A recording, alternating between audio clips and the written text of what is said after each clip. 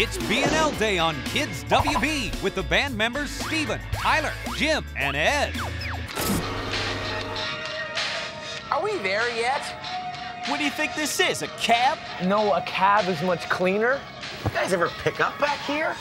I wouldn't dig around too much back there, sport.